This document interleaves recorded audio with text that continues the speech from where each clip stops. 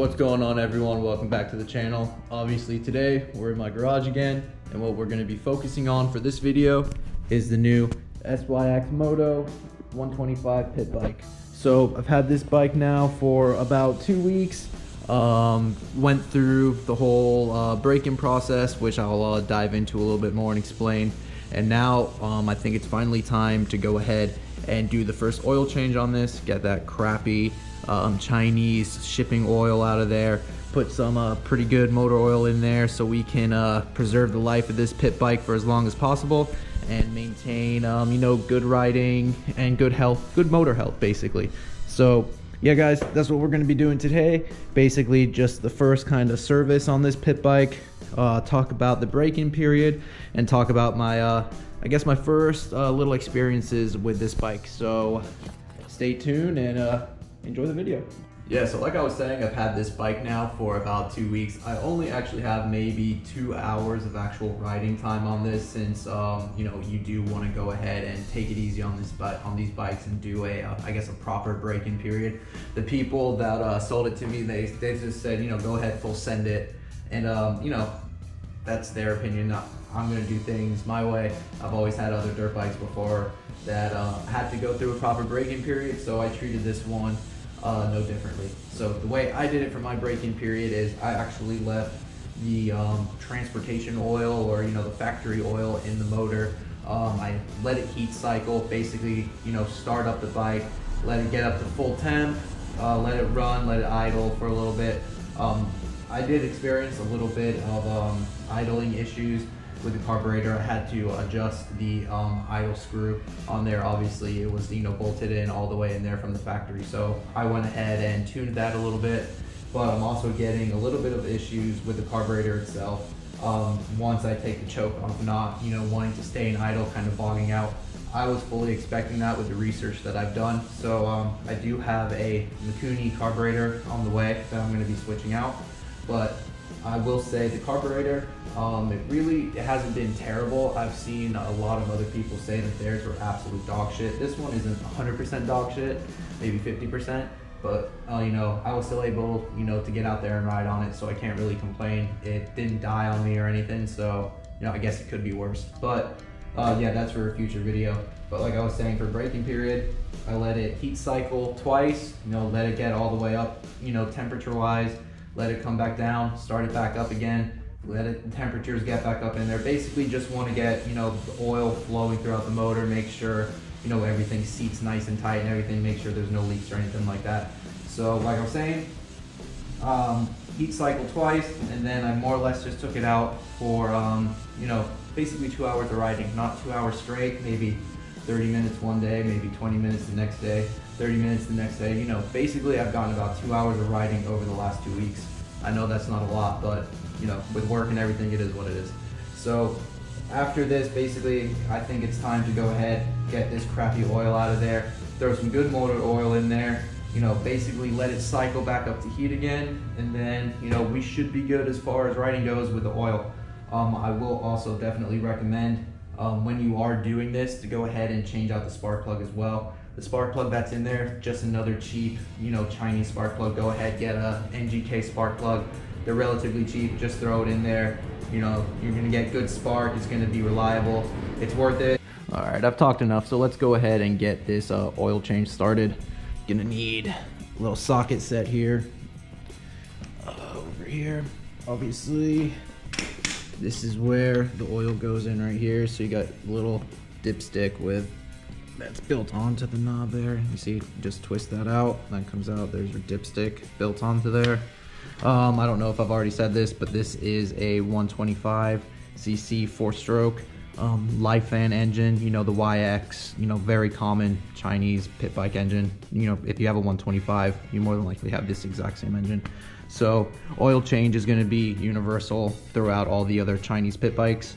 So right here, dipstick with the oil, right down here, that's gonna be your oil drain right there. Uh, SYX Moto has the skid plate here, but it's nice they have the little hole right there so you can go ahead and uh, you know, get your socket in there to, you know, obviously get that out. And now you're obviously gonna wanna have something down here to catch that oil Now for oil, you could go ahead and throw in break-in oil. I just used the oil that was in there.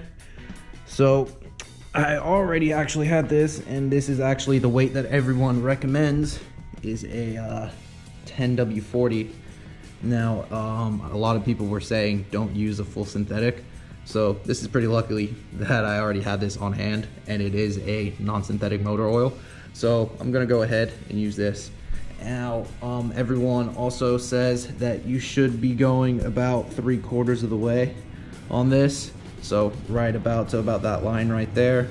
And that should be doing the trick, but obviously you always wanna go ahead and double check with the um, dipstick unless uh, you you know you're running a higher CC motor or a different variant that has a little window where you can see that oil levels.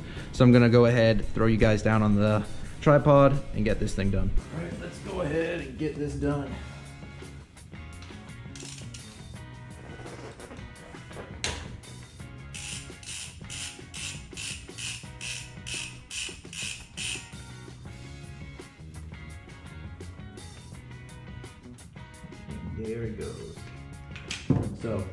Not going to be too much oil in here because like I was saying, this is just the shipping oil or the you know break-in oil from the factory.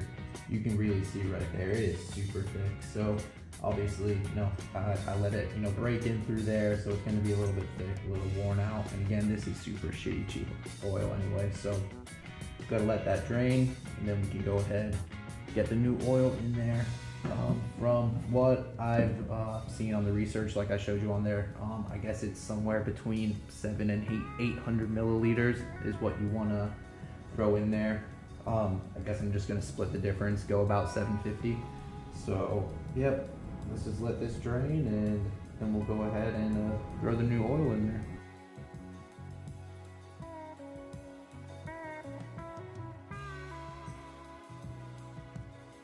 I actually had a line on there that showed me where it was torqued to prior. So that's where I'm gonna leave it. Now let's go ahead, get the new oil in there. Of course, I don't have a smaller filter than this, so hold on one second while I MacGyver something together. All right, guys, we're back. I just signed the fuck out of this little funnel. Look at that thing. Awesome. So ahead now and fill up this motor with the oil. Like I was saying earlier, somewhere between 700 and 800 milliliters. You decide how much you want to use.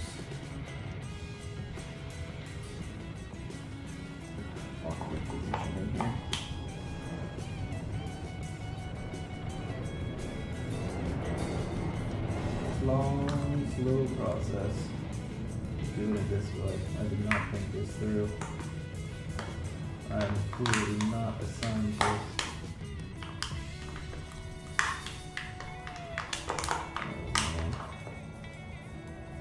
We're gonna fast forward, guys.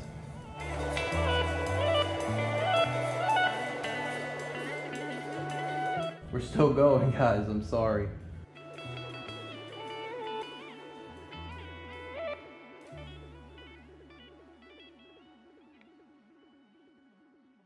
Alright, so that took way longer than I anticipated, but this thing worked perfectly, so I'm a little proud of myself right now. So, like I was saying, I went ahead and put uh, 700 milliliters in this. So, one of these uh, uh, quarts, uh, 950 milliliters just about.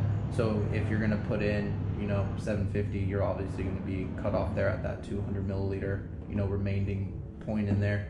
But obviously, you wanna go ahead and double check with the dipstick. Again, this is the dipstick there. It has the little triangles there where you can measure. So let's go ahead, dip that dipstick in there. And we can see, yep, it's right on there. There's a little bubble right on there. So we should be good.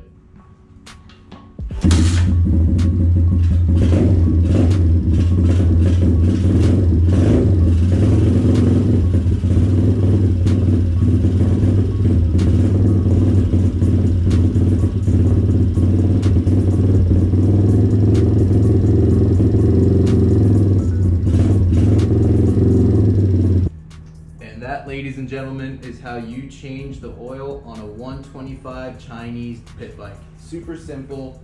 Um, should only take you maybe 10 minutes max. Super inexpensive. It costs, uh, I think the oil was three bucks. So yeah, super inexpensive. And like I was saying before, this would be a prime opportune time to go ahead and change out the spark plugs as well. Yeah, obviously right here, this is where the spark plug is. So yeah, I was a little far away then. Wanted to go ahead and show you guys up close and personal. So you see right here, this is the spark plug, uh, spark plug cap basically that goes in over the spark plug. And then you can see right in there, I've already gone ahead and changed it out for a uh, NGK spark plug. The uh, cheap ones that you get with the bike, um, you know, they're only gonna be good for so long before they'll file out. So just go ahead, throw in a new spark plug, you know, when you go ahead change, you know, on your first oil change. Um, I typically change spark plugs every time I change the oil, and I change the oil relatively frequently in my dirt bikes. I'm probably going to do the same with this. Again, I totally plan on upgrading this motor or engine when it uh, inevitably goes out. Been looking at the um, Piranha 150 or maybe even a 170, so we'll see whatever's available at the time. But yeah, guys, that is how you change the oil and how I do my break-ins for my dirt bikes. Again, super inexpensive, super simple to do. Um, if you're new to bikes, don't be intimidated. You know, the best way to learn is to just go ahead and try it out. So if you like this video, guys, go ahead, hit the like button down below, hit the subscribe button. Um, I'm always doing videos like this, so if you're new, you know, go ahead, hit the subscribe button, stick around for a, lot, a while. You might like it. I'm also still giving away those uh, Core 4x4 LCAs. As soon as I hit the 2,000 subs, you can win those or 150 bucks cash. So guys, that's gonna do it for this one. Appreciate you guys uh, sticking around and I'll see you in the next one. Later.